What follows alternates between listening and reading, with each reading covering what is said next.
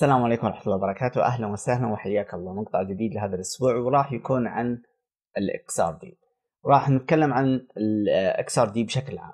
فراح يكون فيديو جدا طويل ومفصل راح تلقى فيه كل المعلومات الأساسية والتقنية عن ال XRD راح أبدأ لك من بداية القصة من ال X-ray وبعدين كيف تحولت الفكرة وبعدين كيف بدأوا يكتشفوا آه ال structure حق آه بعض المركبات والكريستالات القديمة ثم راح ننتقل للعلماء اللي شاركوا في الموضوع هذا ونشرح إيش هو الأساسيات اللي موجودة في ال XRD آه كمان راح أنقلك راح تشوف الجهاز تشوف أهم المكونات للجهاز.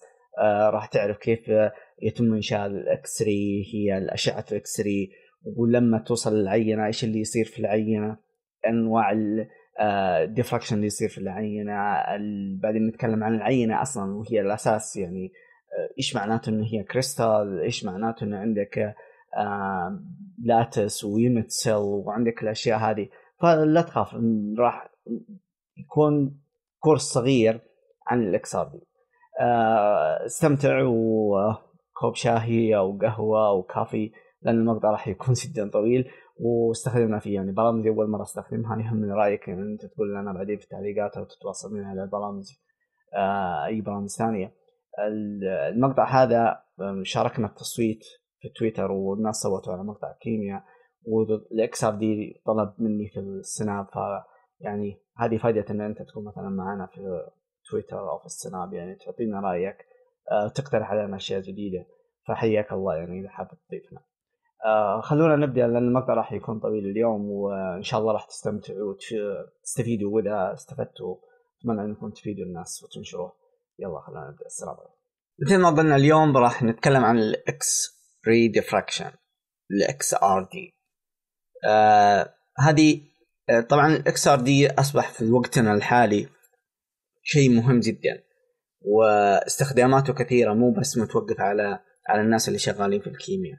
الناس اللي شغالين في الكيمياء في الفيزياء في البيولوجي في ال engineering كل الناس هذه أصبحت معتمدة على إن هي تعرف ال structure لل materials اللي هم شغالين عليها.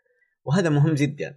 مثال على كذا إحنا مثلا في ال catalyst يهمني أعرف هل إن ال nanoparticles عبارة عن metal pure metal ولا إن هي oxide metals هذا شيء مم يعني مهم جدا لأن أنت لما تتكلم عن مثلا عندي copper ولا عندي ال copper oxide هذا شيء وهذا شيء ثاني. إذا أتكلم عن النيكل ولا ال nickel oxide هذا برضو شيء وهذا شيء ثاني. حتى ال structure فلما آه، تقول copper oxide يختلف. أنا عندي في في في ال surface الآن هل أنا عندي نيكل وأكسجين؟ هل ال active sites آه، هي الاكسجين هل التاثير ال electro effect اللي موجود في ال surface هل هو علشان موجود عندي أكسجين ولا عندي نيكل؟ أو علشان هم الاثنين بجنب بعض عشان الأكسجين والنيكل بجنب بعض فأعطاني هذا التأثير. فمهم جدا إن إحنا نفهم ال structure حق ال material. وبفضل آه، الله ثم فضل اكتشاف ال X-ray diffraction قدرنا نوصل لهذا الشيء. والآن لما نروح لل history للأشياء القديمة آه، كيف بدأت الفكرة راح تعرف إن الموضوع هذا ما جا في يوم وليلة. جاء من سنوات وتجربة وبعدها تجربة وناس شغالة لين تطور الموضوع ووصلنا لل XRD اللي إحنا موجودين معه. تقريبا في المية السنة الأخيرة ما تطور ال XRD بشكل آه، مخيف. التطورات كلها تقنية يعني بدل ما كان مثلا ياخذ عينة أصبح ياخذ أكثر من عينات ال software تطور الشغلات هذه تطورت يعني الاشياء تقنية يعني حاجة بسيطة يعني. ولكن الأساسيات ال fundamental حق ال XRD ما تغيرت هي نفسها نفسها. آه، وتقريبا من 100 سنه يعني ما تغيرت. وهذا يدلك على إيش؟ ما يدل ان ال XRD قديم والمفروض إن إحنا نبحث عن شيء ثاني، لا إنه هو الفكرة الأساسية اللي في إيه موجودة منه آه فكرة عظيمة جدا. وبالتالي إن أنت من الصعب إن أنت تخلق فكرة غيرها في سنوات يعني وصلنا 100 سنة ما راح تقدر. لأن الموضوع هذا ال X ديفراكشن مو بس حتى على ال XRD الموضوع هذا لو إن إحنا إن شاء الله راح نشرح بعدين electron microscopy. ال electron microscopy جزء منه قائم على ال XRD افكاره افكاره مترابطة مع ال XRD لدرجة إنه هو أصلا ال electron microscope في ال X-ray X-ray diffraction وفي ال X-ray detector موجود فيه. ونقدر إن شاء الله إحنا راح نشرح ال TEM وبعدين راح نشرح ال SEM فراح نمر على المواضيع هذه. فهذه بس مقدمة بسيطة أبغى أقول لك ليش الموضوع ال XRD يعني هو كان الموضوع الأول في القناة من الكيمياء يعني. لأنه هو جدا مهم وأنا بالنسبة لي صح إني أنا في شغلي ما أستخدمه كثر ما أستخدم ال electron microscopy لأن أنا شغال في ال nanoparticles ولكن إنه هو جدا مهم على مستوى القسم على مستوى حتى ال group اللي أنا شغال فيه على مستوى مجموعة الشباب. وزي ما قلنا يعني أكثر من واحد طلب يعني نفهم ال XRD فقد فرصة جميلة إن إحنا نبدأ في القناة بداية قوية في الكيمياء ولعلها إن شاء الله إنها تكون سبب إن الأشياء الجاية تكون آه أفضل وأفضل. فخلونا آه هذا برنامج جديد فخلونا نشوف اليوم كيف يكون البرنامج معنا. المقدمه خلونا نروح لل آه، شوية introduction عن اليوم إيش اللي راح نتكلم فيه. ف راح نتكلم شوية history نتكلم فيه والأهم شيء بالنسبة لنا نفهم يعني أبغاك تطلع من الموضوع هذا. آه، فاهم الماضي شوية الماضي عن ال XRD وتفهم إيش هو ال Bragg's law لأن ال Bragg's law هو الأساس في ال XRD يعني بدون ما نفهم ال Bragg's law ما فهمنا أصلا ال XRD نهائيا. بدون ما نفهم آه، ال Bragg's law مستحيل نفهم ال data اللي تجينا من ال XRD فأنت لازم تفهم البراكس لما أقول لازم شوية تعرف ال history لازم تعرف أصلا ال Bragg's law من هو ال Bragg's law من هو Bragg's هذا. فهذه الأشياء تضيف لك. إذا أنت راح تمر على ال XRD أو تشتغل على ال XRD لازم تفهم هذه الأشياء. لما أقول لك أنا طلعت طلعت معي ال data هذه وأنا سويت كذا وكذا وعرفت إن أنا عندي مثلا ال copper 111 آه، تمام؟ okay كويس. طيب قل لي ماجد يعني إيش 111 إيش اللي copper؟ كيف عرفت إنه copper؟ فراح أرجع أقول لك ال Bragg's law ولما أرجع أقول لك ال Bragg's law راح أقول لك أنا أشياء في ال history فلما نتكلم أنا ما راح نطول. يعني راح أقول لك أرمي لك بس كذا رؤوس أقلام وأنت من هنا روح ابني عليها وابحث ودور.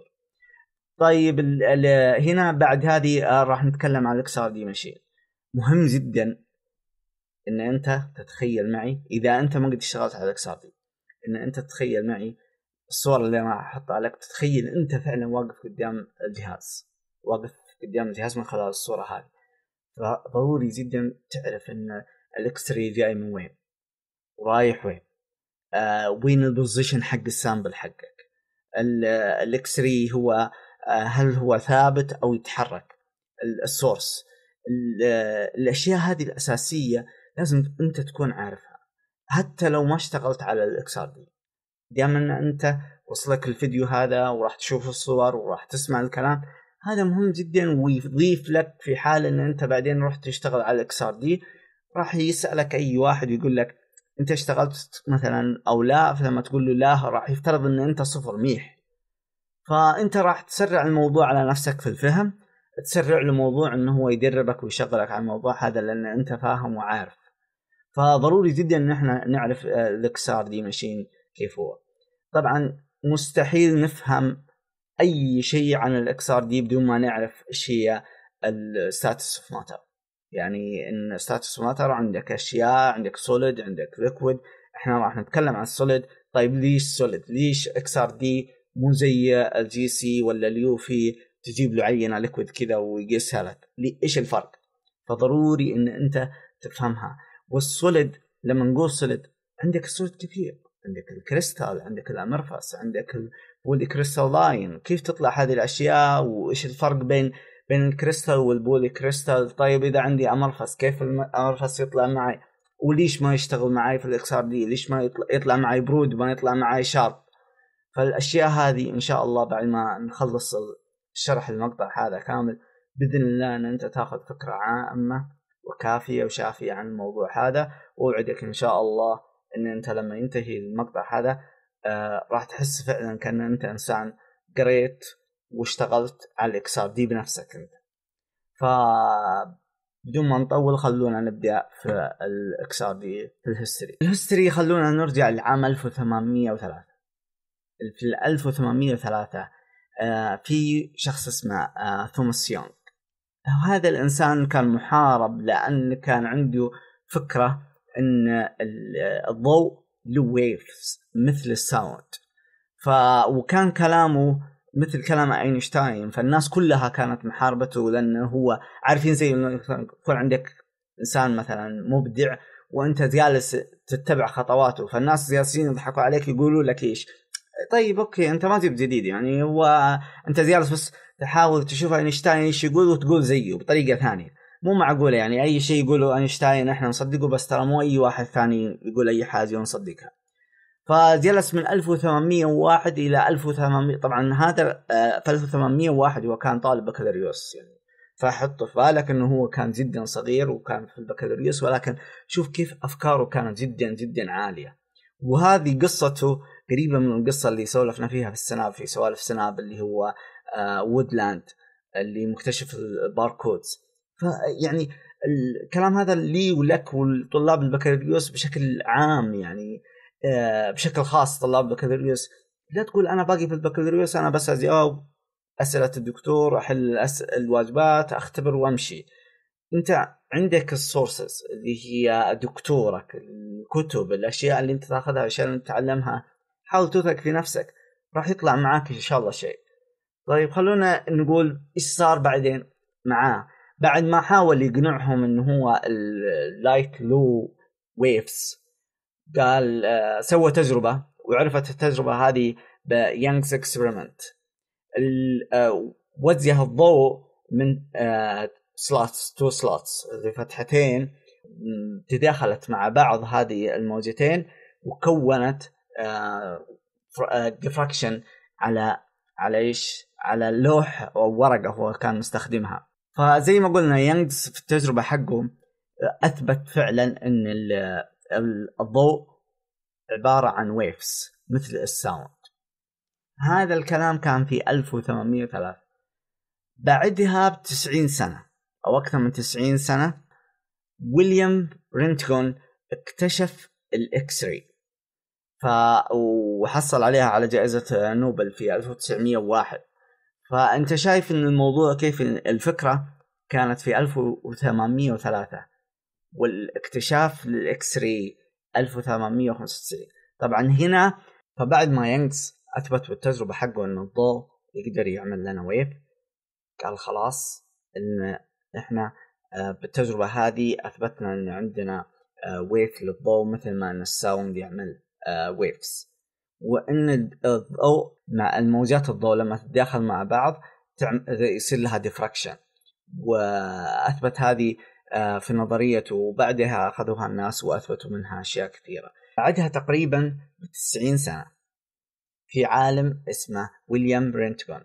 هذا العالم اكتشف ال X-ray طبعا بدون ما ادخلك في التفاصيل كثيرة X-ray X هي من الشيء اللي مثلا إحنا نقول سين من الناس. هم نفس الشيء. أول ما بدأ الموضوع مو عارفين إيش نوع ال wave هذه. طبعا rays wave فمو عارفين إيش النوع فسموها X لين يكتشفوا الاسم مش هي فمشت معاهم وثبت على ال X-ray X-ray X-ray لها قصة ولها ولها مبادئ كثيرة. ولكن أنا بس اختصرت الموضوع أن أنت أواك تعرف أنه في 1895 رينتغون هو اللي اكتشف وحصل على جائزة نوبل 1901 بعدها بعشر سنوات في آه في عالم اسمه تقريبا لاوا أو زي كذا اسمه آه أخذ ال X-rays وأخذ فكرة إنه هي الضوء له wavelength ويصير له diffraction فقال خليني أشوف ال X-ray هل فعلا يصير له diffraction أو لا. فالفكرة زي ما زي ما أنت شايف كذا إنه هو قال خليني أشوف هل إن مثلا الحين لو أمرر هو Young's يوم مرر الضوء من فتحات كون diffraction على الورقة. فقال أنا طيب نفس الشيء وهو فرض فرضية انه قال لو تمرر ال X-ray من كريستال راح يصير لها diffraction مثل ما صار للضوء diffraction ولكن إنه ما جربها ما طبقها عمليا هو. وحصل هو طبعا حصل على جائزة نوبل بعدها ثلاث سنوات في 1914 ولكن من اللي جاء وطبق هذا الكلام؟ جاء فريدريك النابينج هذول الاثنين بعدوا بسنة يعني أخذوا كلامه اللي نشروا في ورقته العلمية هذه أخذوها وطبقوها على crystals طبقوها على ال copper sulfate وعلى ال sphalerite وصار فعلا diffraction لل X-ray على حطوا فيلم ووجهوا عليه أشعة إكس على الكريستالة هذه وشافوا وش اللي يصير في الفيلم. فاكتشفوا إن الفيلم صار عليه نقط كذا آه اللي هو ال diffraction حق ال X-ray فعرفوا إنه فعلا إن إحنا نقدر نعرف مكان الذرات الموجودة في هذه الكريستال عن طريق ال X-rays وبالتالي إن ال X ال wave حق ال X-ray مشابه لل distance اللي موجودة بين الطبقات ال crystals اللي هي زي ال copper sulfate ولا ال sphalerite. وحص... آه وبعدها يعني تتابع الموضوع هو بس واحد يطلع فكرة ينشرها ياخذها الثاني ويكمل عليها. هنا في نفس الوقت آه براغ ويليام براغ اللي هو الأب ولورانس براغ اللي هو ولده كان لورانس كان في الجامعة ما كان عنده عند أبوه فراح لأبوه في في السمر وبعدين لقي أبوه شغ... تو آه فريدريك ناشر ورقة يقول فيها الكلام هذا. فإيش سووا؟ نفس الكلام خذوا ال zinc sulfide اللي هي sphalerite هذه الكريستال واشتغلوا عليها وأثبتوا أول مرة طلع اللي هو ال Bragg law ليش؟ لانهم ما أثبتوا إنه فعلا في diffraction أعطونا القانون اللي راح نشتغل عليه ال XRD وشغال عليه ال XRD من 1913 إلى يومك هذا. فهذه سلسله تاريخيه لل XRD آه، حبيت أقولها لك عشان عشان نعرف إن الجهاز اللي أنت توقف عليه جهاز مو سهل. جهاز العلماء اللي اشتغلوا عليه حاصلين على ثلاث Nobel prizes وناس كثيرة شغالين عليه حاليا حصلوا على ال Nobel prizes في اكتشاف ال enzymes واكتشاف لاشياء ثانية. ف ولكن في الأساسيات في ال fundamental حق ال XRD ثلاثة من اللي اشتغلوا على ال XRD حصلوا على ال Nobel prize. فمو أي جهاز يكون هذا الشيء. فهذا الفكرة البسيطة هنا وخلونا بعد ما بعد ما خلصنا هنا خلونا ننتقل إلى ننتقل إلى X-ray spectrum طيب في ال X-ray spectrum إحنا نتكلم عن ال X-ray وهو الأساس في ال XRD. هو الشيء المهم هو الاكتشاف العظيم اللي أعطانا ال XRD. فال X-ray زي ما أنت شايف هنا أول شيء عبارة عن موجة ال X-ray. الموجة هذه لها wavelength ولها طاقة. وقت تعرف أهم شيء اللي أنا أبغاك تركز عليه إن الطول الموجي من 0.01 نانومتر إلى 10 نانومتر طيب ليش هذا الشيء مهم؟ هذا الشيء جدا مهم لأن في هذا ال range هو ال range اللي بين طبقات ال crystals. هذا إذا أحد سألك ليش إحنا نستخدم ال X-ray ما نستخدم مثلا ال ultraviolet ال UV ولا نستخدم ال visible ولا ال IR ولا الميكروويف ولا الراديو ليش إحنا نستخدم بالذات ال X-ray لأن الطول الموجي له آه، من 0.01 نانومتر إلى 10 نانومتر. وهذا في هذا ال range فعلا ال range هذا موجود في ال distance between بين الطبقات في ال d آه، في اللي هو نسميها ال d-spacing في الكريستال. وراح تشوف معانا بعدين. راح تشوف ال crystals وراح تشوف إن في طبقات بينها بينها حاجة يسموها d-spacing اللي هو المسافة بين الطبقة ال plane اللي فوق وال plane اللي تحت okay؟ الطبقة اللي فوق والطبقة اللي تحت. فال X-ray هو الوحيد الموجة الوحيدة اللي الطول الموجي قادر فعلا إنه يوصل لهذا ال d-spacing ويقول لك المسافة اللي بينه. فهذا أهم شيء من من من الصورة هذه كاملة. أبغاك بس تركز إنه إحنا شغالين X-ray وهذا الطول الموجي اللي عند ال X-ray وهذا الطول الموجي هو الطول الموجي اللي موجود بين طبقات اللي ال crystals. طبعا يختلف لما يكون عندك crystal ل crystal يختلف. من من آه، عنصر إلى عنصر ثاني من مركب إلى مركب لما يكون copper غير لما يكون copper oxide لما يكون copper sulfide لما يكون شيء ثاني تمام؟ فيختلف هذا الشيء عشان كذا ال range مو ثابت في ال crystals. في كبيرة في d-spacing يكون مرة كبير ومرة صغير. ولكن سبحان الله اللي هو ال X-ray هو الطول الموجي حقه يغطي لي كل الأماكن هذه. تمام؟ خلونا الحين ننتقل لل XRD machine تمام؟ هذا الشيء المهم. أبغاك تتخيل ان أنت واقف قدام هذا ال machine. حاولت أرسمه بشكل كويس. فأتمنى إني وصلت الفكرة. يعني أول مرة أستخدم برامج ال Adobe فيعني اللي شغالين على Adobe سامحونا إذا شافوا لخبطة. ال XRD machine وأنت واقف كذا قدامه راح تكون المكان هذا هنا samples holder هنا تحط ال samples أنا بالنسبة لي ال sample holder عبارة عن شكل دائري أحط عليه آه، ال nanoparticles اللي أنا شغال عليه. عشان كذا أنا راسمهم كذا. الخط هذا عبارة عن موجة ال X اللي جاية اللي نسميها incident beam فهنا هذا ال X source فمن هنا من ال X آه، من زي ما الاسم يقول إنه هو ال source يعني هنا يتم إطلاق أشعة إكس من هنا. ف الجزء آه، هذا من ال X-ray diffraction مهم جدا. مهم جدا إن أنت تعرف إيش هو ال X-ray هنا كيف يتم إنتاج ال X-ray لين يوصل لل sample. فهذا راح نتكلم عنه. ال sample هنا عبارة عن المادة اللي أنت حطها فهل هي كريستال ولا مو كريستال طيب إذا كان كريستال إيش اللي يفرق مادة عن مادة ثانية؟ طيب إذا هي كريستال أنا إيش اللي متوقع من ال XRD إنه راح يعطيني؟ فهذا موضوع. لما نجي هنا لل detector إيش اللي راح طبعا إحنا شايفين في X-ray هذا اللي هو الموجة هذه نازلة هنا طيب. diffraction اللي هو اسم الجهاز X-ray diffraction هذا هو. إنه هو يصير انعكاس لموجة ال X-ray من ال sample. ال sample هنا راح يعكس لك X-ray يوديها مرة ثانية لل detector. ولكن راح نفهم بعدين إنه مو عكس. مو إنه ياخذ من هنا ويرمي هناك. لها طريقة علمية. واصلا ال X-ray اللي طالعة مو ال X-ray نفس اللي جاية. هو صح إنها نفس ال بنفس الطاقة اللي طالعة اللي جت طلعت. ما زاد ولا نقص. ولكن هي ال X-ray هذه صادرة من ال sample حقتك. مو صادرة من ال X-ray source من هنا. فهذه لازم تعرفها إنه هو ما صار diffraction يعني آه زي ما ترمي شيء في الجي دي ار ويرجع. لا مو كذا. إنه هو عندك X-ray جاي هنا موجة X-ray جت لل sample.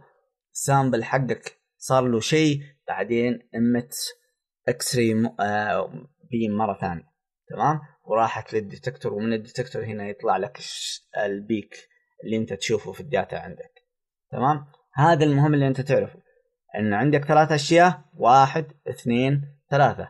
الأول اللي هو ال X-ray source ومن هنا يطلع ال X-ray wave تمام؟ ال sample حقك هي اللي اللي يصدمها ال X-ray وبعدين هي تطلق X-ray مرة ثانية تروح ليش؟ لل detector وال detector هنا ال outcomes حق آه، حق ال X-ray ويطلع لك اللي هو ال graph حق ال X-ray تمام؟ فخلصنا الجزء هذا. خلونا نروح لل X-ray sources اللي هو اللي هو هذا الجهة هذه. تمام؟ الجهة الأولى هذه. خلونا نروح لل X-ray source أول شيء هنا ال X-ray tube موجود داخل ال X-ray source مو كل ال X-ray source هو جزء منه. يسموه X-ray tube فهنا أبغاك تعرف كيف تصدر أشعة إكس فلو نبدأ بالشكل اللي هو قدامك هنا إيش اللي موجود؟ عندك cathode ويكون سالب. وعندك آنود يكون موجب. تمام؟ ما راح أدخلك في كل صغيرة وكبيرة موجودة هنا ولكن أنا حطيت هذه الرسمة عشان أنا أحتاجها بعدين لما أجي أشرح لك TEM ولا SEM كلهم على نفس المبدأ. فأنت إذا كان عندك TEM ولا SEM اسمع معي. عندك هنا ال cathode سالب. ومن هنا هو ال power supply يجي لك ال power supply يحطوه يعني يشبكوه في ال في ال آه، في ال generator ويكون مو اي generator يكون generator قادر يعطيك high voltage high voltage لما نتكلم مثلا زي ال TEM 200 ألف. لما نتكلم عن شو اسمه ال SEM 60000 فأنت تحتاج ل generator يعطيك إيش؟ يعطيك high voltage فراح يمر ال high voltage من هنا يمر حاجة هنا هذه نسميها filaments ال filaments هذه تختلف آه، من من X-ray tube إلى X-ray tube ثاني. اللي أنا شغال عليه الفيلمنت اللي موجود هنا عبارة عن تنجستم واير تنجستم أو كذا شو اسمه سلك من التنجستم بالعربي. سلك من التنجستم راح يمر من خلاله التيار الكهربائي هذا. راح يرفع حرارته وبالتالي راح يصير له إيش؟ إنه هو يطرد الإلكترونات حقه. تمام؟ سبب إنه يطرد الالكترونات إنه هو التيار الكهربائي العالي اللي هنا. فالتنجستم راح يطرد الالكترونات حقه. ففي حاجة هنا اسمها ال focusing cup. ال focusing cup هذه عبارة عن آه، شحنات موجبة في في ال cup هذا بحيث إن هي الكترونات سالبة بحيث إن أول ما تطلع الإلكترونات من ال tungsten wire يساعدها إن هي تطلع من ال wire نفسه وتطلع برا ال cup نفسه. تمام؟ فهو عبارة عن زي قزازة كذا بهذا الشكل وفيها فتحة بسيطة يقدر يطلع منها إلكترونات. فهو جالس يحشر الإلكترونات انه هو لأنه هو موجب فجالس يسحبهم ويوجههم إن هم ينطلقوا من آه ال focusing cup هذا. تمام؟ فوظيفته واحد إنه يساعد في سحب الإلكترونات من ال wire. اثنين إنه الإلكترونات راح تطلع بشكل عشوائي في كل مكان فهو راح يساعدهم ان هم يطلعوا في شكل موجة باتجاه محدد. تمام؟ فهذا جزء فهمناه. الكاثو الأنود عبارة عن موجب وإلكترونات سالب فما يحتاج إن أنت تتخيل إيش اللي يصير. السالب راح ينطلق على الموجب فهنا حاجة اسمها اللي هو ال target. ال target هذا يتغير عن يعني ال target في ال XRD اللي اللي انت شغال عليه أو راح تشتغل عليه إن شاء الله يقدروا يغيروا ال target آه، أنا كاتب لك هنا ال copper target ولكن مو شرط انه يكون ال copper target ال copper هو طبعا جنرال موجود في كل شيء وهو شغالين عليه أكثر الناس ولكن يمكن يجيك طالب عنده شغل ثاني يقول لك أنا ما أبغى copper. ال copper target يعني هو أكثر ناس شغالين عليه؟ نعم. ولكن يمكن أنت حالة خاصة عندك مثلا عينة خاصة ولكن اللي أنا أبغاه يوصل لك إن هذا مو fixed مو كل الدنيا شغالين على ال copper target تقدر تغير ال copper target تمام؟ فخلينا نقول الحين الإلكترونات راح تطلع من هنا راح تضرب في إيش في ال copper target إلكترونات وضربت في الكبر. تمام؟ الكبر عبارة عن إيش؟ عن ذرة حولها إلكترونات. الإلكترونات اللي جاية راح تضرب لك الإلكترونات اللي موجودة في إيش؟ عند الكبر. راح تطلع إلكترونات جديدة. بسبب هذا الشيء الإلكترونات اللي فقدناها من الكبر من هنا اللي فقدناها من الكبر من هنا الإلكترونات اللي قريبة منها حوالي في الذرة نفسها اللي اللي ما طارت يعني ما طارت لما ضربتها الإلكترونات راح تنزل تقفل الفراغات اللي موجودة. نزولها هذا راح يتسبب إنه تطلع أشعة X-ray تمام؟ تطلع أشعة إكس فمن هنا نفهم كيف طلعت أشعة إكس مرة واضح؟ تبغى اشرحها لك بطريقة ثانية؟ أوضح وأسهل؟ ولا يهمك. الآن اشرحها لك تعال هنا. خلينا نشوف. هذه اللي قلنا إيش التارجت يمكن إنه كبر يمكن مو كبر. ما علينا. اللي هو عبارة عن ذرة حوالها حواليها إلكترونات. طيب جانا إلكترون وضرب الإلكترون هذا اللي موجود هنا. إيش اللي صار؟ في صار الإلكترون هذا سافر ودع راح ترك مكانه فاضي هنا. شايفين؟ الالكترون فاضي ما في أحد هنا. قاموا خويانه اللي موجودين هنا في المدارات اللي أعلى قالوا لا الفراغ ولا العار. فنزلوا يغطون إيش؟ المكان الفاضي اللي موجود هنا. هذا نزل من level عالي فله طول موجي مختلف. ال X-ray راح تطلع من هنا ولكن راح تطلع بطول موجي مختلف عن هذا. السبب لأن أنت شايف هذا جاي من مدار وهذا جاي من مدار ثاني. فالأطوال الموجية ما راح تكون متساوية راح تكون مختلفة. طيب الآن أنا عندي مثلا copper. هل كلهم يطلعوا طول موجي واحد؟ لا. يطلع بهذا مثلا بشكل وهذا بشكل طول موجي وهذا طول موجي تبغى تفهمها بشكل علمي؟ أوريك إياها بشكل علمي. تعال هنا.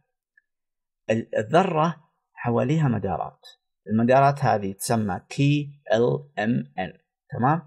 ال K 2 8 18 32 إي okay أنا عارف رجعتك 101 كيمياء. ما عليه. خلك معي. داخل الكي آه، داخل الكي والال والام هذه يسموها vibration levels اللي هي ال level ات موجودة في ال K نفسه. يعني ال K مو واحد. وال L مو واحد زي كذا text فموجودين خلينا نشوف هنا. تعال هنا شوف. هذا ال ground state تمام؟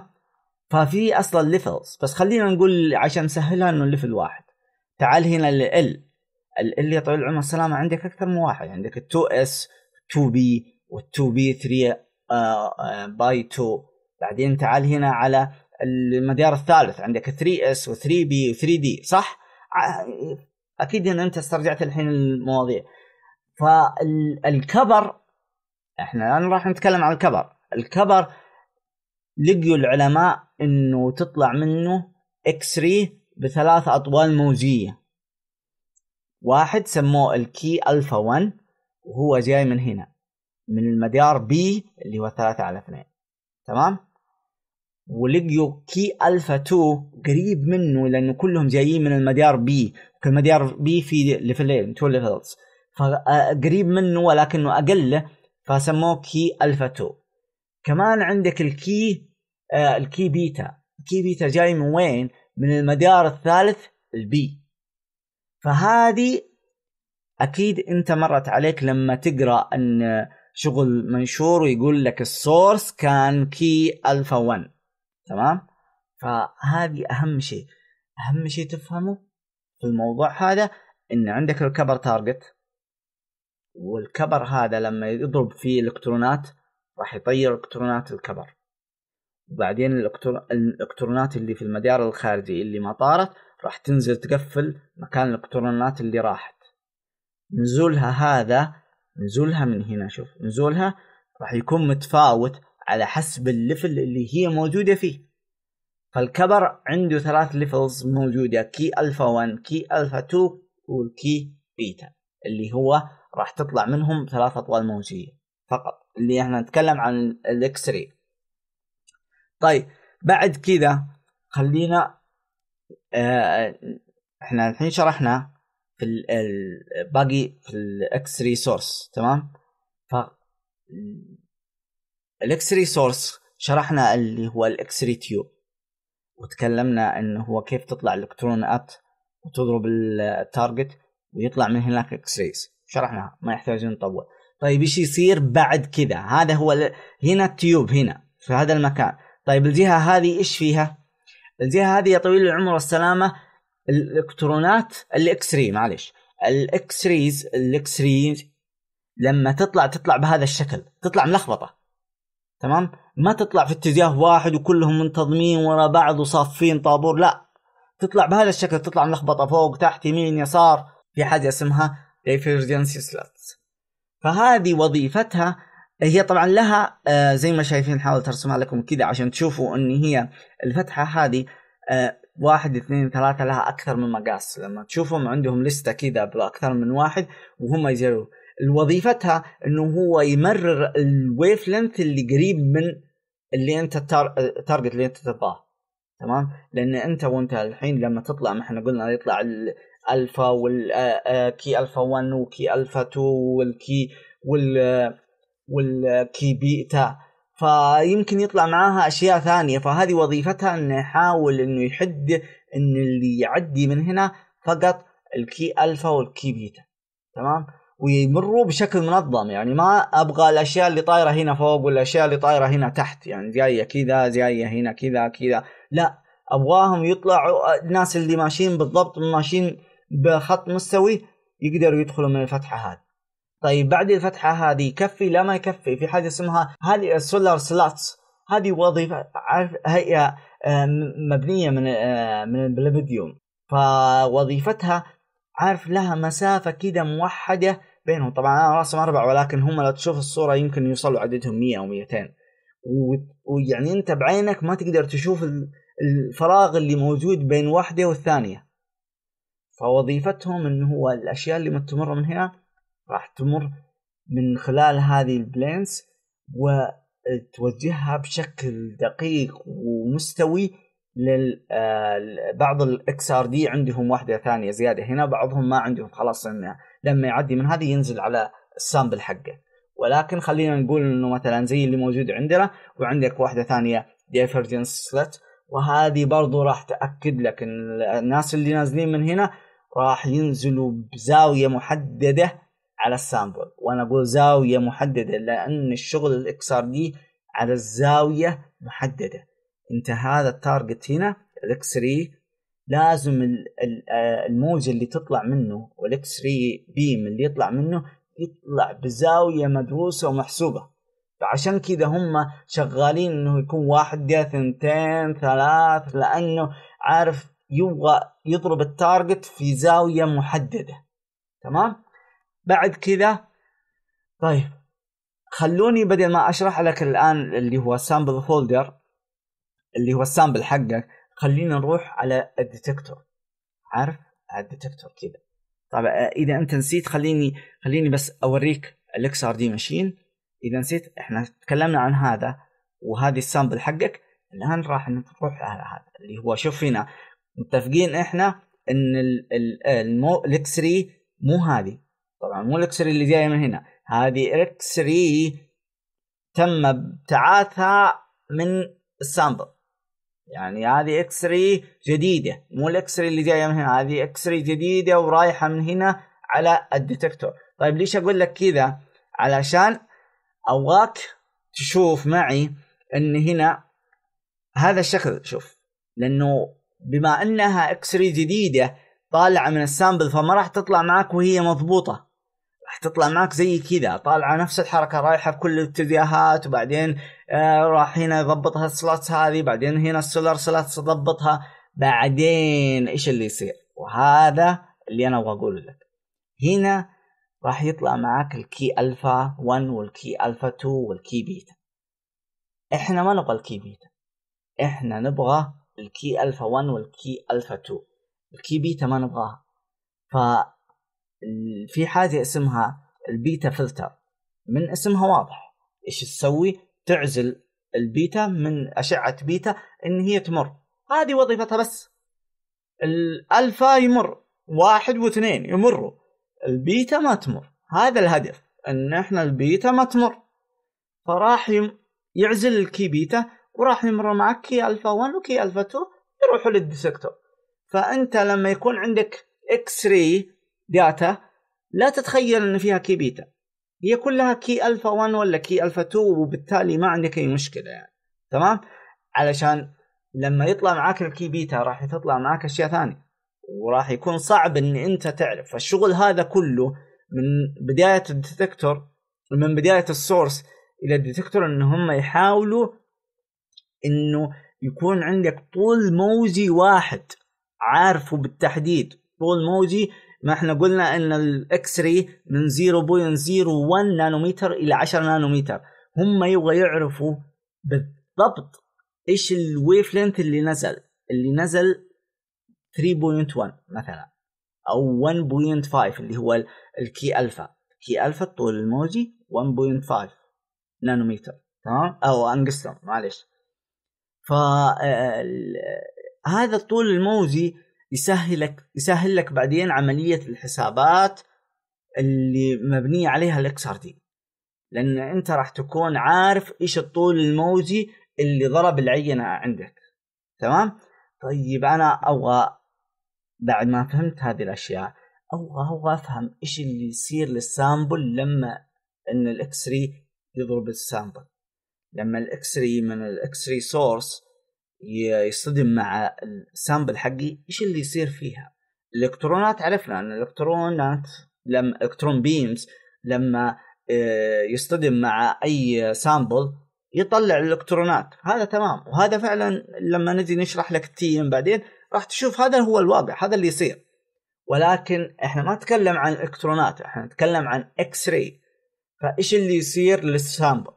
خلونا نبدأ من الأساس. أنا وعدتكم اليوم إن إحنا آه، ما راح أشرح أي شيء إلا لما يكون فعلا جدا واضح. يعني راح أوضح لك كل شيء بحيث إن أنت آه، يكون سهل إن أنت تستوعب المعلومة.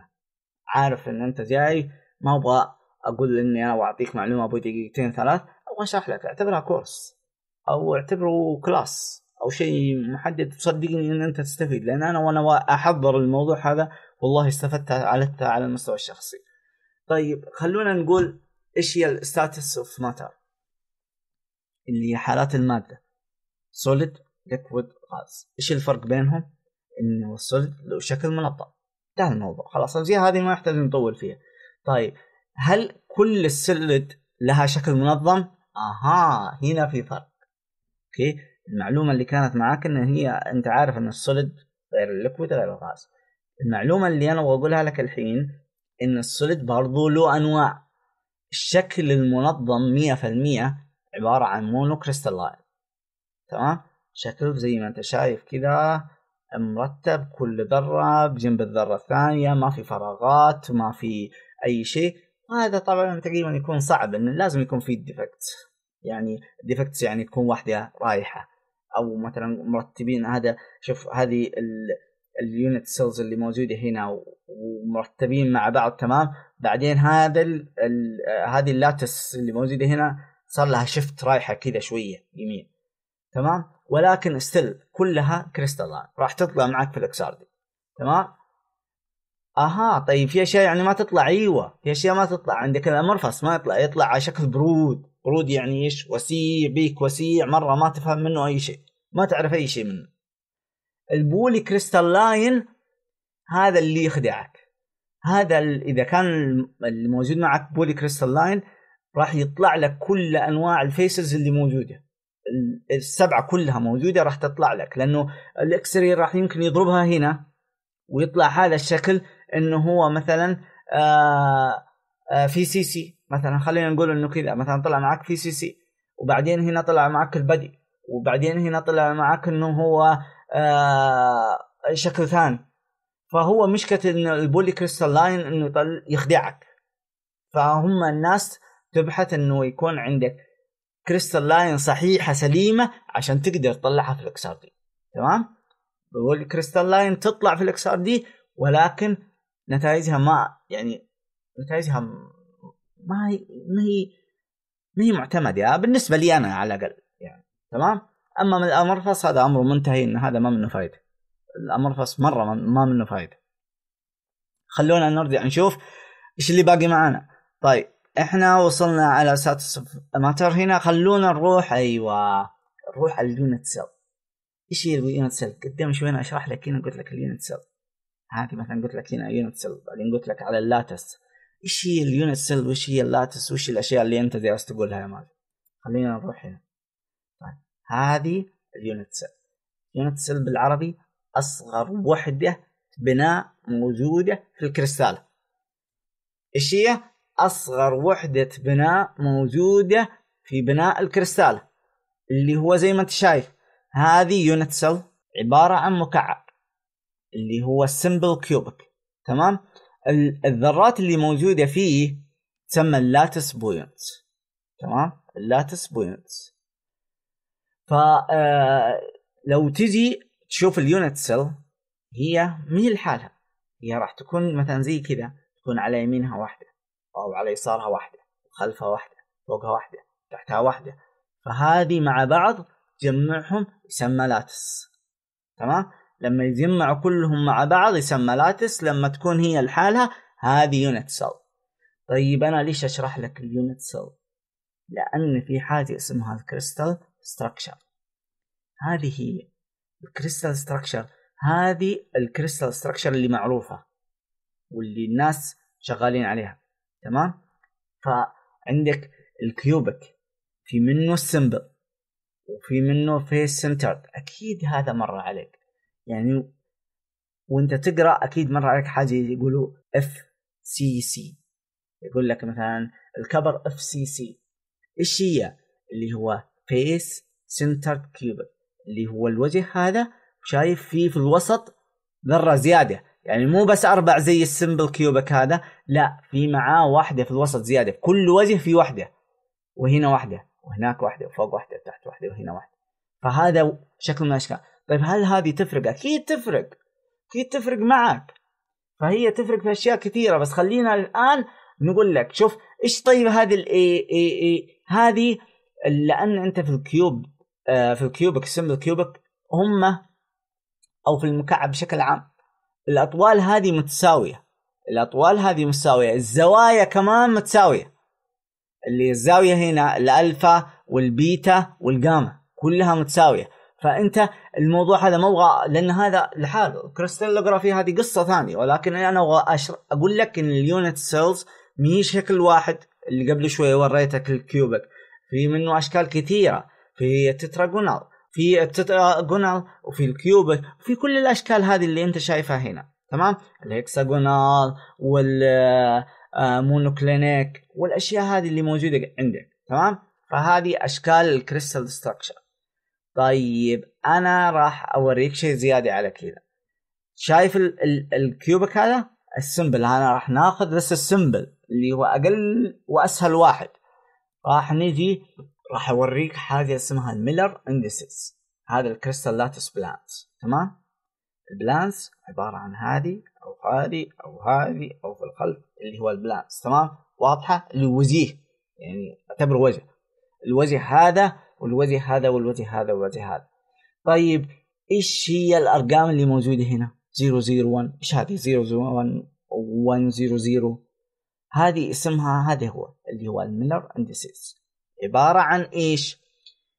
أنت شايف ال X هذا لو نفرض مع بعض لو نفرض مع بعض أن هذا عبارة عن آه خلونا نقول مثلا هنا تعال خلونا نقول إن هذا هو المحور. هذا ال X هذا Y هذا محور ال Z تمام؟ فإحنا عرفنا هذه المحاور. طيب zero معناته إن ال plane هذا الوجه هذا لم يقطع أي شيء فيه إكس. ما مر من الاكس في شيء اللي هو هذا ال X هنا. يسموه infinity. يقول مر عن طريق X infinity عشان كذا يحطوه صفر. تمام؟ أنا أفهمها إنه أصلا ما مر من X. فأنت فهمها زي ما تبغى. أو infinity ولا إنه ما مر خلقه. ال Y برضه صفر. ما مر من ال Y. شوف ما تقاطع مع ال Y في شيء ولا تقاطع مع ال... فتقاطع مع مين؟ تقاطع مع ال Z في النقطة هذه اللي موجودة هنا. فعشان كذا X Y Z ال Z يعتبر واحد. تمام؟ ال Miller indices يسموه آه، لها شكل ثاني. h k l تمام؟ h k l كذا تنكتب. هذه هي عبارة عن ال Miller indices ال X هنا المحور هذا وال Y وال Z أو إن أنت تسميها h k l. تمام؟ تمام. عشان أنت بتشوفني نكتبها إيش؟ h k l. ما راح تشوفني أكتبها X Y Z. رغم إني أنا حاولت أرسم لك كل شيء موجود بحيث إن أنت تشوف. يعني إن هو المحاور ال X Y Z وال h k l علشان إن أنت تبقى في بالك. تمام؟ نفس الشيء راح تجي تقيسها هنا. لما مثلا تجي هنا آه، وطبق نفس الموضوع وطبق هنا. فالموضوع جدا سهل مو صعب ولكن أنا إيش اللي أبغى أوصل لك في الموضوع هذا؟ أبغى أوصل لك إن عندنا عبارة عن planes كل unit cell فيها planes. هذا plane وهذا plane وهذا plane. يهمني أيوه يهمني ليش؟ لأن أنت لما تجي في حاجة اسمها ال d spacing تمام؟ اللي هو المسافة من ال plane هذا لين ال plane الثاني. ما إحنا قلنا ال unit cell تتر... مع بعض. يعني ما تيجي واحدة كذا. هذه وفوقها واحدة وفوقها واحدة. راح يكون كلهم معاهم نفس ال plane. تمام؟ راح يكون مثلا 001 فاللي بعدها لو في مثلا cubic ثاني راح تكون ال plane هنا موجودة صح؟ في هذا الشيء. وراح يكون برضو 001 آه، فأنا أبغى أعرف المسافة من ال plane هذا لل plane هذا. من هنا لهنا. فهذا يسمى d h k l d اللي هو المسافة h k l اللي هي عبارة مثلا هنا 001 تمام؟ تمام. وراح أشرحها لك بعدين بطريقة ثانية. فأنت لما تطلع معاك ال XRD ال data راح تطلع معك زي كذا زي كذا زي كذا. ولكن مو بس كذا أنت راح تعرف إن هذا 001 وهذا 010 مثلا وهذا 200 زي كذا. تمام؟ فهي الفائده إن أنت من ال d-spacing إنه هو يقول لك إيش ال plane اللي موجودة معك. فأنت راح تعرف إن مثلا ال nanoparticle اللي أنت شغال كونت أي شيء. كونت لك هذا الشكل ولا هذا الشكل ولا هذا الشكل ولا هنا زي كذا. فأنت راح تعرف ويهمك هذا الموضوع. يهمك حتى في ال catalyst يهمك في كل شيء. تمام؟ فبعد كذا خلاص إحنا ما نبغى نطول في الموضوع هذا خلينا نجي على الشيء اللي بعده. طيب شرحنا هنا وشرحنا هنا. خلينا نقول why these planes matter. سؤال جدا مهم. فعلا. أنت قل لي ليش إن أنت ضيعت وقتك جالس تشرح لي هذه الأشياء يا مازن؟ أنا أقول لك الآن. خلينا نروح على الصورة هذه. هنا أنا أعتبره يعني يسموه ال masterpiece. الشيء اللي أنت أبدعت فيه مرة يسموه ال masterpiece. أنا هنا أحس نفسي ابدعت في كل شيء هنا لأني أنا راح أحشر لك الملخص كامل هنا. لو أنت بس ركزت في هذه الدقائق هنا أعتبر إن أنت فهمت كل شيء أنا شرحته من اول تمام؟ تمام. أنا رسمت خطين. الخط الأول هذا والخط هذا. إيش أقصد في الخطوط هذه؟ أقصد فيها هذا الم... هذا ال unit cell هذه مكررة نفسها مرتين. مكررة نفسها فوق بعض.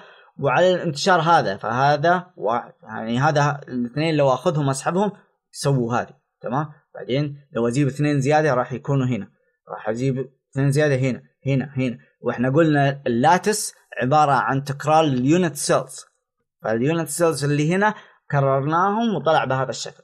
أنا بس راسمهم بهذا الشكل عشان يكون أوضح وأسهل من لو أرسم بهذا الشكل راح يكون معقد تمام؟ أهم شيء إن أنت فاهم. هذا اللي هو ال atomic plane اللي هو هذا ال plane اللي هنا.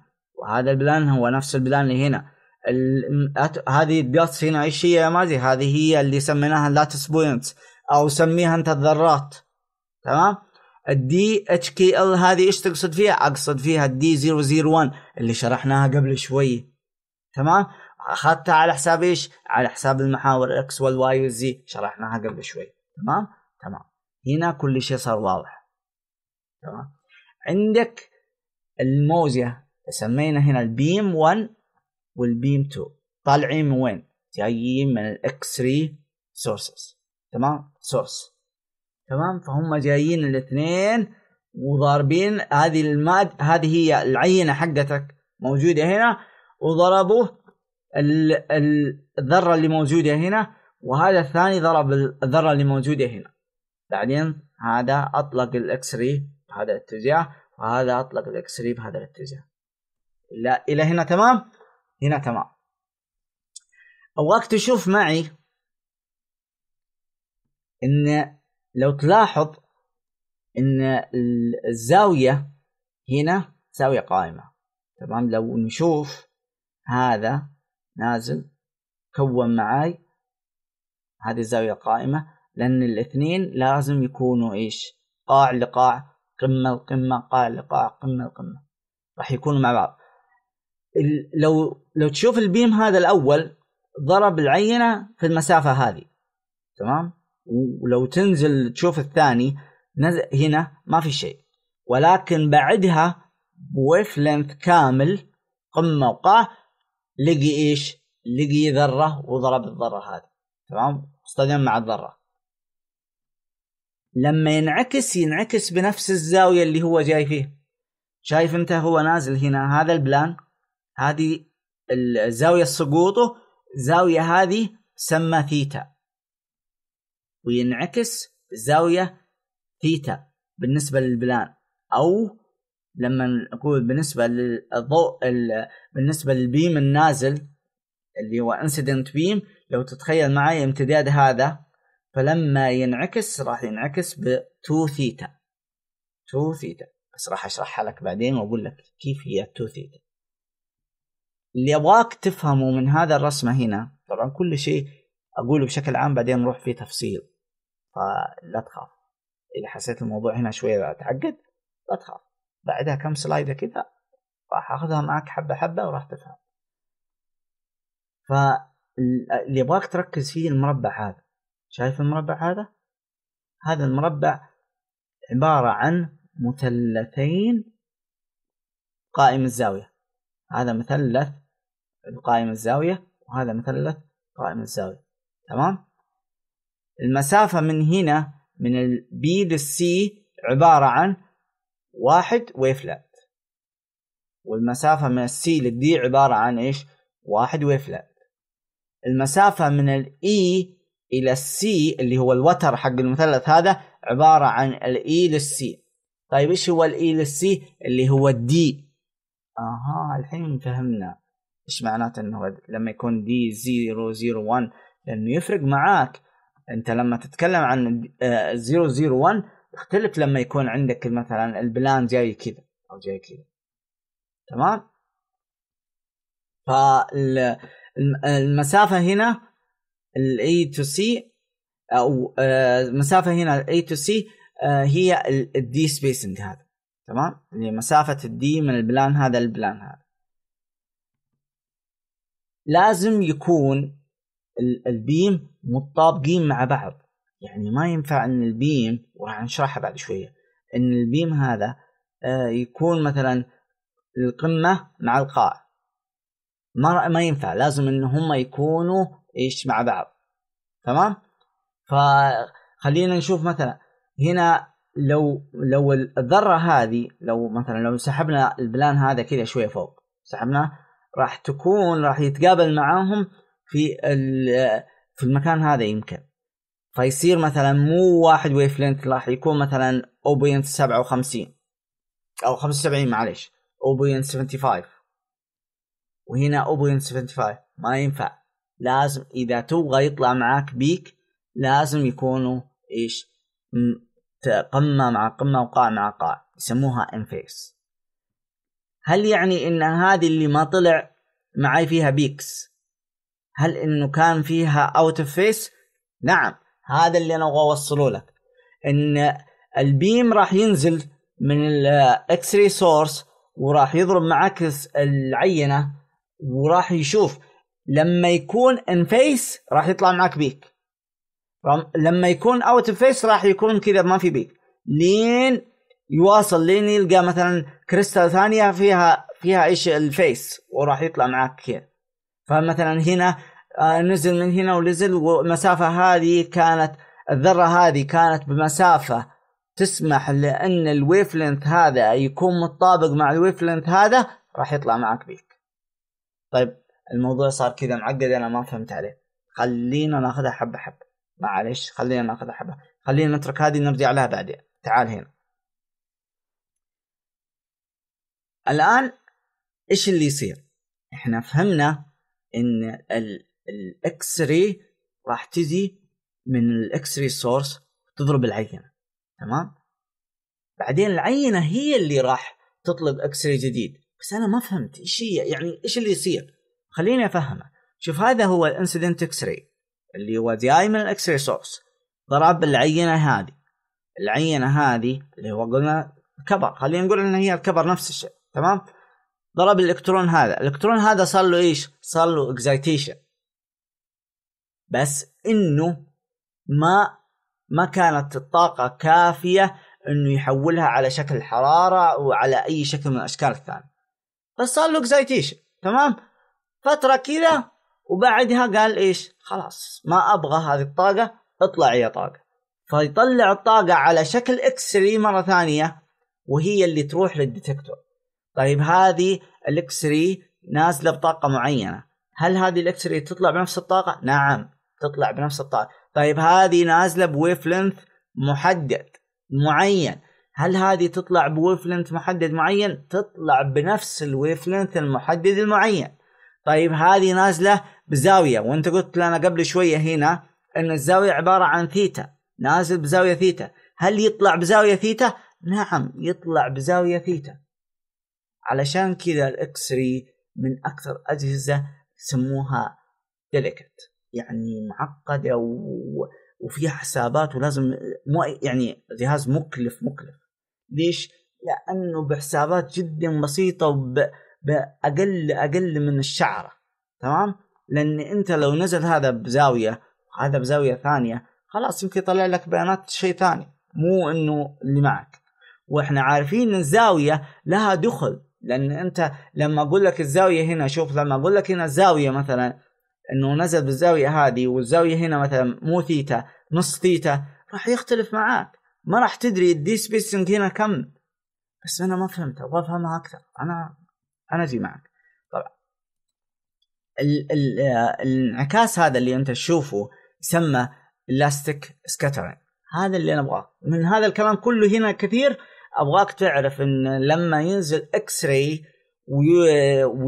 ويضرب الإلكترون اللي موجود معك والإلكترون ما يصير في ما يصير له أي changing يعني ما يطلع على شكل حرارة يتحول لحرارة أو يتحول لأي شكل ثاني ويطلع من الإلكترون على شكل X-ray جديد هذا اسمه الاستيك آه scattering لما نجي نشرح إن شاء الله في ال electron microscope راح نقول لك إنه elastic scattering عبارة عن أنواع كثيرة.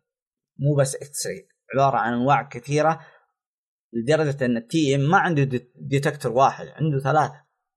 يعني ما عنده واحد عنده ثلاثة. فهنا أنت عندك في ال X XRD عندك detector واحد لأن أنت عارف اللي يطلع هي عبارة عن X-ray فأنا أحط لها detector يقول لي إيش هو. وانتهى الموضوع.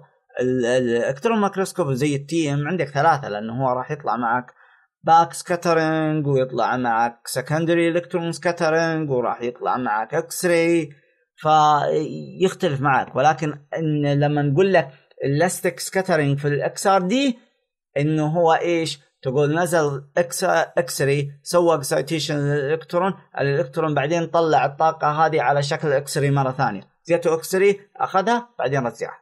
انتهى الموضوع ما سوى أي شيء ثاني. تمام؟ تمام. طيب الآن قبل وأنا أشرح قبل شوي قلت لك إنه ال in phase لازم ال wave length لما ينزلوا مع بعض ال X-ray beam لازم يكونوا in phase. ليش لازم يكونوا in phase لأن لما يكونوا in phase يسموه constructive interference راح يصير لهم amplify وإيش يعني amplify يعني شوف أنت الحين هم كيف صغيرين بعدين لما اجتمعوا مع بعض صاروا أكبر. تمام؟ هذا هو اللي اللي مهم. فعشان كذا هم لما يكون عندك اللي in phase راح يكون لهم إيش؟ amplify وراح يطلع معك على شكل peak تمام؟ طيب ال intensity حق ال peak تعتمد على أشياء كثيرة وتعتمد أهم شيء على إن الذرة اللي موجودة معك العنصر اللي موجود معك هل حواليه إلكترونات قليلة أو إلكترونات كثيرة؟ فيختلف. فال intensity ما تعتمد هو على بس إنه هو الالكترون ال X-ray beam فقط لا يعتمد على ال electron beam ويعتمد على الشيء العنصر اللي أنت مستخدمه في المادة حقك تمام؟ فعندك زي ال copper يطلع peak sharp وواضح لأنه هو ال copper آه كم عنده إلكترونات يعني نتكلم عن آه d block طيب ال wave length عبارة عن المسافة اللي بين قمة وقمة أو قاع وقاع أو قمة مثلا من هنا إلى هنا قمة وقاع. تمام؟ فطبعا ال peak هنا سمى crest واللي والقاع يسمى trough بس ما علينا في المصطلحات. خلينا لو نقول إن أنت عندك ال out of phase اللي قلنا ما يطلع معك فيها peak. صح؟ صح. كيف ما يطلع معي peak فيها؟ تسمى ال destructive interference تمام؟ شايف اللي الموجة هنا؟ القمة مع القمة القمة مع القاع والقاع مع قمة وأمورهم ملخبطة. إيش يطلع معك شايف؟ يطلع معك equilibrium واحد القمة ت cancel القاع والقاع ي cancel القمة وفي الأخير ما يطلع معك شيء. فعشان كذا في آه، في ال data قبل شوية قلت لك إنه ما يطلع فيها peak. تمام؟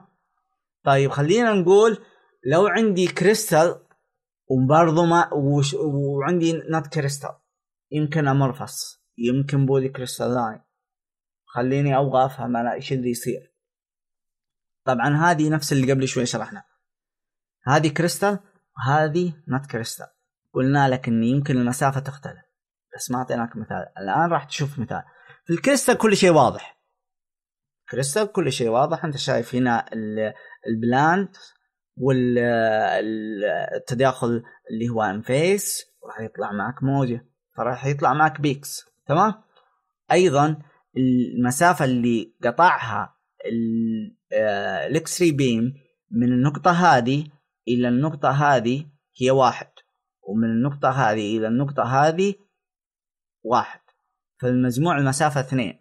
فالويف لينث عندك اثنين اللي هو اللمدة عندك مثلا اللمدة شوف أنت الآن خلينا مثلا نقول شايف أنت المسافة من هنا وهذا أهم شيء المسافة من النقطة هذه إلى النقطة هذه عبارة عن واحد لمدة المسافة من النقطة هذه إلى النقطة هذه عبارة عن واحد لمدة.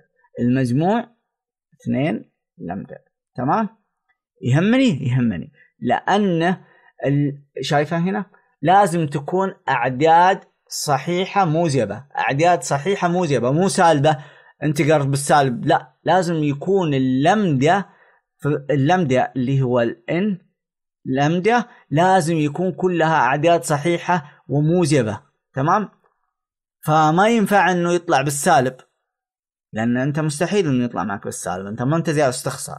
وبرضه مستحيل إنه يطلع معك 0.5 ولا تجيب لي 0.75 تمام؟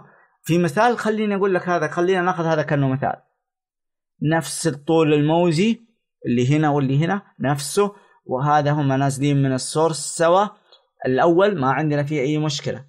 تمام؟ جاء وطالع نفس الشيء صار له emission جديد ورايح لل source طيب الثاني نزل ولقي ال plane قريب من ال plane الأول. okay تمام ما عندي مشكلة. صار له excitation بعدين رجع مرة ثانية من هنا. تمام؟ صار له الحين ال beam طلع من ال sample حقك. لما طلع اكتشف إيش؟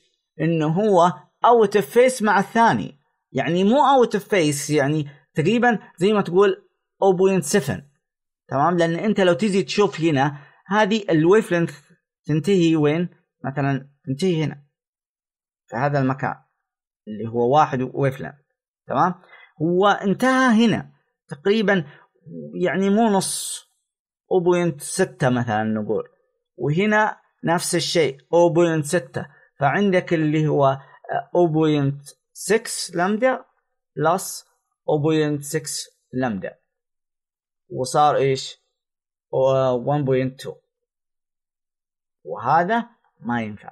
فعشان كذا هذا ما راح يعطيك بيك راح تلقاه كذا فلات ما يطلع معك أي شيء. ما يطلع معك peak بعكس هذا. هذا كل ما مره كل ما مر من هنا يعني كل ما يلاقي ال plane بهذا طبعا ال sample حقه ما راح تكون كلها كذا يعني تمام؟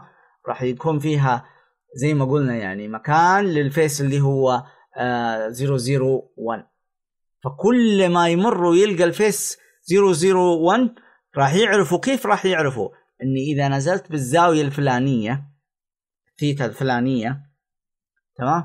أنا كل ما نزلت بالثيتا الفلانية السالفة؟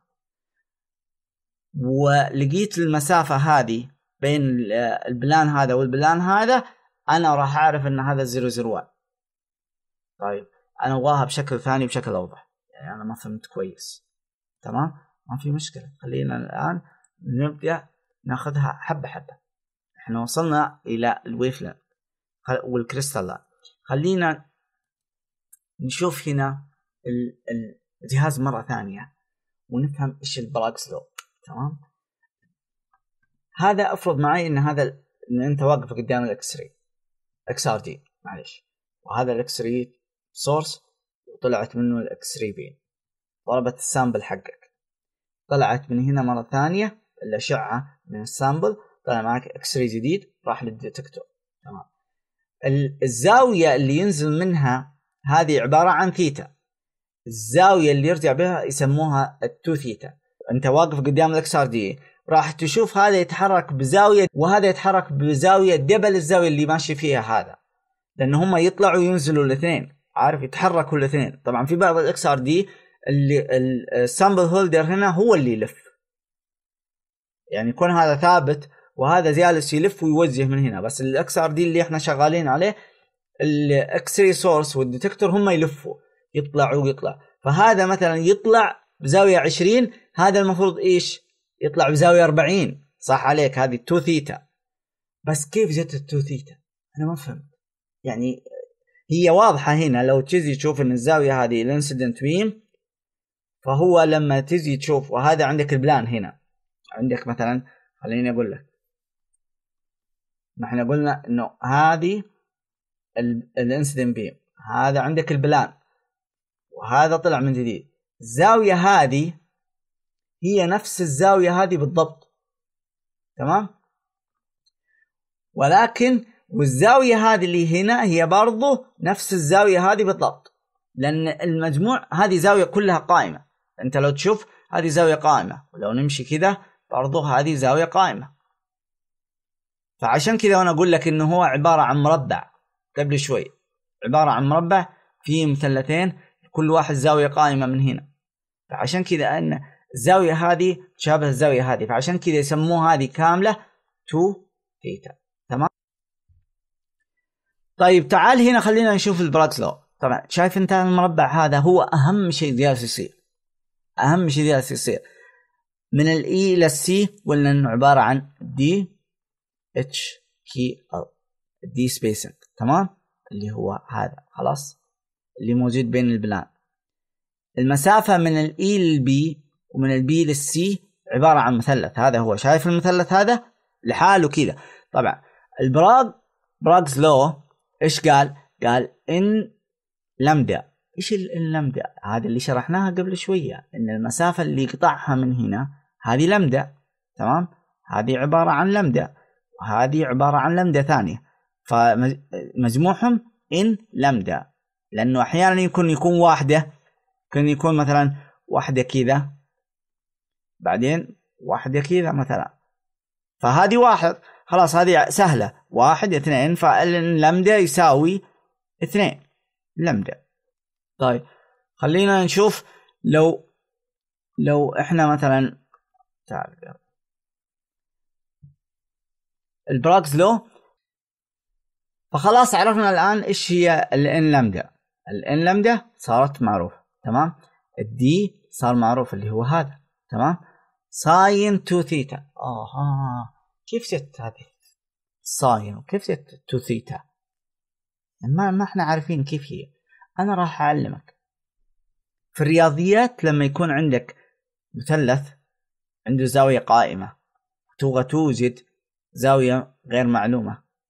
تمام؟ تقول ساين الزاوية نفسها. وتاخذ معاك اللي هو المقابل وليس المجاور المقابل. فالمقابل عندنا في هذه الحالة ال BC على الوتر اللي هو ال d فهذا قانون موجود في الرياضيات. كذا اسمه. إنه هو لما توجد الزاوية تبغى توجد زاوية مثلث قائم تقول إيش؟ تقول sine الزاوية يساوي المقابل على الوتر. فهذه لو تيجي ترتبها مرة ثانية راح يطلع معك بهذا الشكل. BC يساوي d sine الزاوية ال BC هذا الطول هذا يساوي d في sine الزاوية هذه. طيب تعال نفس الشيء ينطبق على هذا الشيء. شوف السي دي يساوي d sine الزاوية. طيب لو نجي نرتب الموضوع من جديد ال n lambda هذه هي. ال BC تساوي BC وال DC ال BC عبارة عن d sine theta وال D وال CD عبارة عن d sine theta فيصير 2 d sine theta معلش سقطت سهوة.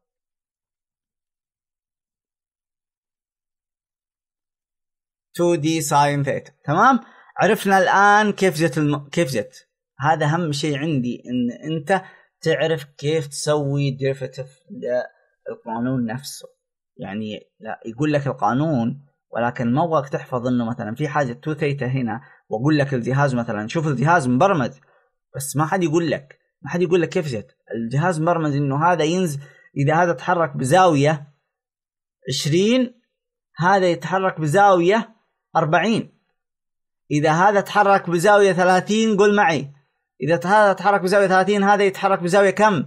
60 فهذا يتحرك بزاوية 60 فهذا الموضوع مهم جدا. وأنت راح توقف قدام ال XRD وراح تشوفه. فأنا أبغى أبسط لك الموضوع من الآن وإن شاء الله وصلت الفكرة. وجدا سهله قلت لك كل شيء مرتبط إيش؟ بال planes.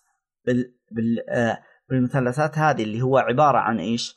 هذا ال plane الأول وهذا ال plane الثاني وهذه هنا atom وهذه هنا atom. مو هذه رسمتنا الاولى صح؟ وهذا ال wavelength نزل من هنا. إيش هذا ال wavelength وهذا ال wavelength نزل من هنا وصار له emission من هنا. وهنا نفس الشيء واحد هنا واحد هنا. تمام؟ بدون ما يعني آه، أخرب ليلتك بهذه الرسمة أتوقع إن شاء الله وصلت الفكرة. تمام؟ خلونا نشوف إيش باقي معنا في المواضيع الباقية. تقريبا أتوقع آه خلصنا. ال derivative حق ال Bragg's law تقريبا هذا الأهم شيء اللي أنا آه قلت لك وشرحناه قبل شوية. آه بس إن في حاجة والله أبغى أقولها لك زيادة. يعني okay إحنا وصلنا عرفنا إنه هنا إنه تي دي 2 d sine theta عرفنا من فين جت هذا هو القانون وعرفنا كل شيء. عرفنا إن هنا اللمدا وهذه ال d وعرفنا إنه هو sine 2 ثيتا عرفنا أو 2 d sine theta 2D sine theta بس هو أقول لك شيء ثاني.